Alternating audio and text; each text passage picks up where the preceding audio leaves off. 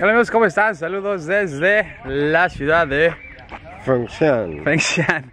Bueno, el día de hoy vamos a jugar un poco de básquetbol.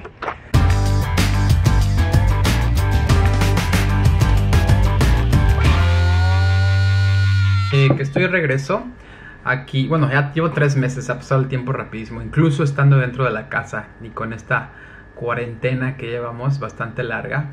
Cuando yo recién regresé ahorita en febrero, eh, les comenté por ahí en otro, en otro video que tenía personas que venían, bueno, una o dos personas venían a checarme la temperatura y siempre veían que tenía más de, bueno, si tenía más de 38 grados se supone que me hubieran llevado a algún lugar donde me van a revisar más directamente, como más, me van a tener más en control y ver si algo se desarrollaba en mí.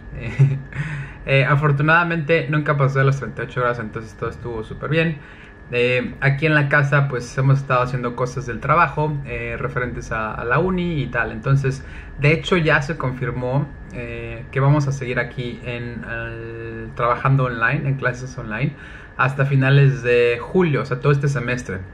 Entonces después de julio tenemos vacaciones de verano y luego regresaríamos ya al campus normal, face to face en septiembre. Entonces, pues hasta ahorita esas son las noticias. A pesar de que ya muchas zonas em, ya están abriendo, eh, pero la gente hace más actividades como que ya empezaron a salir más. De hecho, nosotros incluso aquí en el complejo donde estoy viviendo, aquí en Fengshan, ya salimos más como con mis, con mis amigos y, colegas de aquí del trabajo. Eh, como somos vecinos también, entonces ya salimos a jugar eh, básquetbol, aunque sea 3, 4 veces al día, al, día, no a la semana. Eh, ya incluso hay amiguillos chinos que trabajan aquí en el hotel y solamente viven ahí, entonces pues han salido a jugar con nosotros de repente básquetbol y, y bueno, la estamos usando más o menos bien y tratando de crear buenos nuevos hábitos. Em, por ahí si tienen dudas, digo dudas, por ahí si tienen consejos de, de nuevos buenos hábitos, por ahí pásenme unos tips es todo como normal. Lo único que permanece cerrado han sido las universidades grandes. Por ejemplo, esta que nuestro edificio está dentro de la Universidad de Shanghai. Como son miles de estudiantes, tal vez no quieren tomar el riesgo de ya que todos lleguen al campus y si alguno, algún chino viene de una provincia que todavía hay ciertos casos, entonces como no quieren tomar el riesgo es que decidieron no abrir este semestre de plano y todas las clases son online. Pero si te vas al centro de Shanghai, pues ya casi todos se ven ya trabajando normal. O sea, de hecho los hoteles, todos los hoteles Marriott, por ahí recientemente escribieron un artículo que ya eh, el resto, cerca de 350 hoteles que tenían acá en China, pues ya están todos abiertos. Eh, aunque están operando ahorita cerca del 40%, eh, pero pues ya se verá yo creo pronto un, una subida en la, en la economía china porque ya la llevaban muy por debajo, ¿no? Entonces, que de hecho, eh, pues desde que iniciaron ellos a tomar sus datos del GDP, del Producto Interno Bruto desde 1990 más o menos, nunca habían tenido, digo, con muchos países en, en desarrollo, no habían tenido nada negativo. Y ahorita el primer trimestre de este año, el primer trimestre de este año, pues ya llevan el 6% negativo, es lo que, es lo que eh, registraron.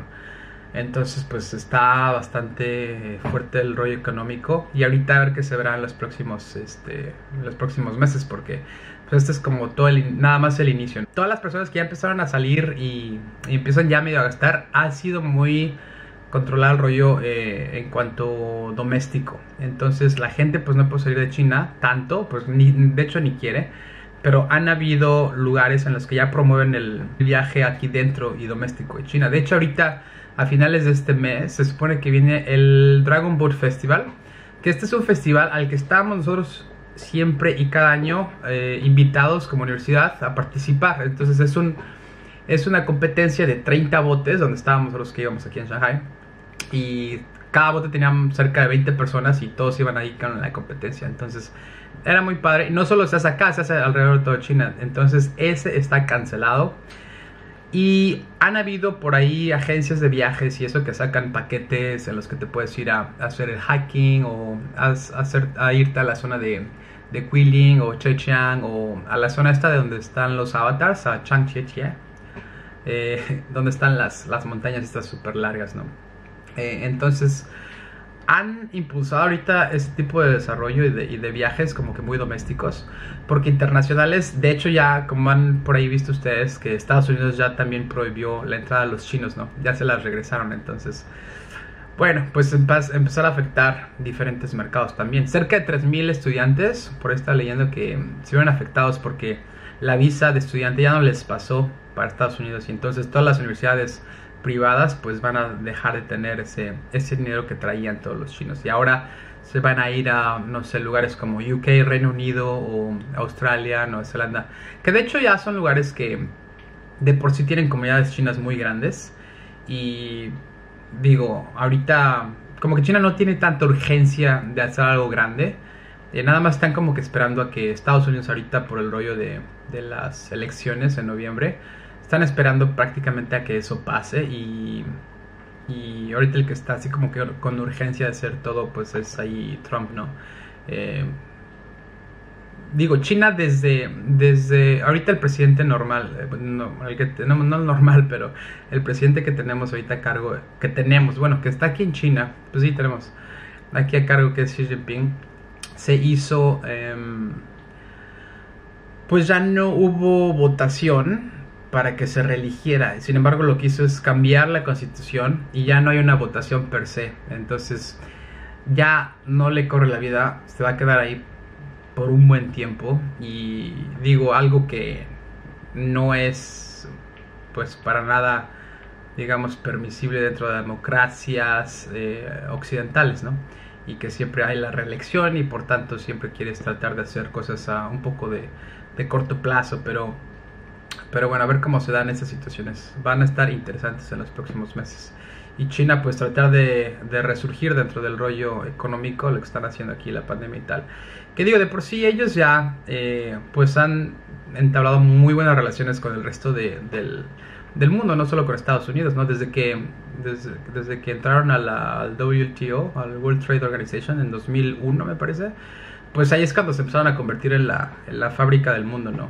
Digo, realmente no, no es como que su único cliente, digamos, Estados Unidos. Aunque obviamente pues están muy eh, ligados uno con el otro, pero, pero pues China tiene muchos acuerdos en todo lado del sureste asiático, incluso aquí con Australia.